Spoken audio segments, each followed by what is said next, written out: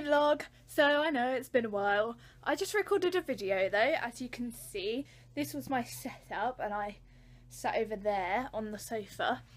Um, it kind of wasn't the best video I've ever made.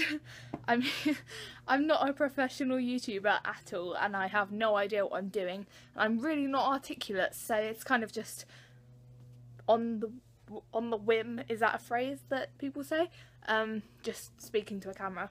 Okay so recently I've been watching a lot of Vlogmas from The Acquainted. Um they're they're like a couple that make videos. They're like a band. They were long distance and then they live together now so that's pretty cool. And they're married as well.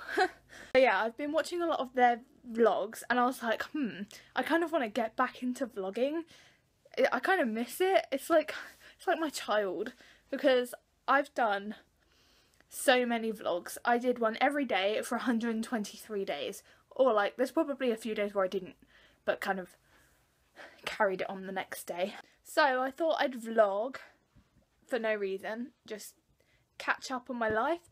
I did have a vlog that I made on my birthday, recorded and it kind of disappeared into the abyss of cyberspace, if that's what it is. I, I don't know. It's gone basically, so yeah.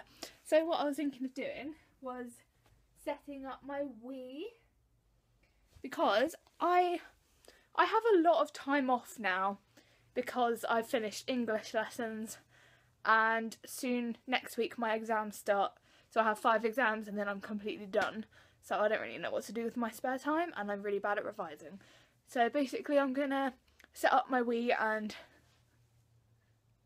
see if I can actually because I don't even know if I can play it here.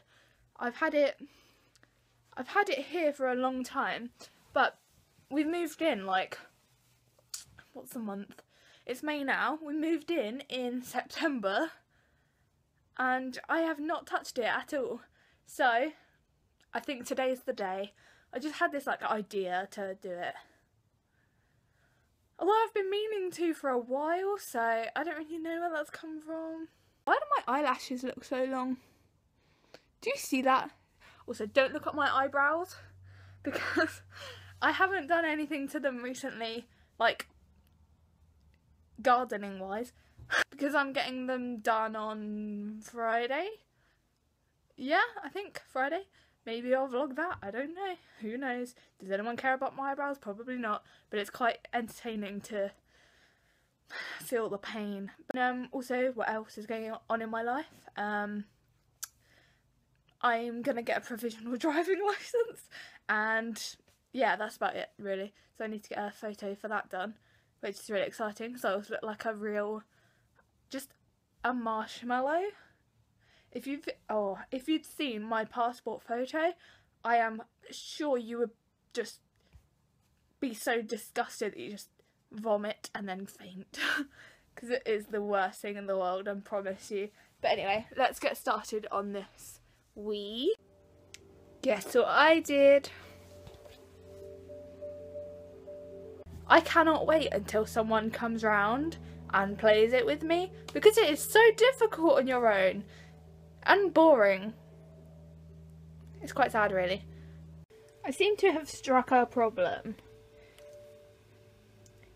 The batteries have run out of power. Great.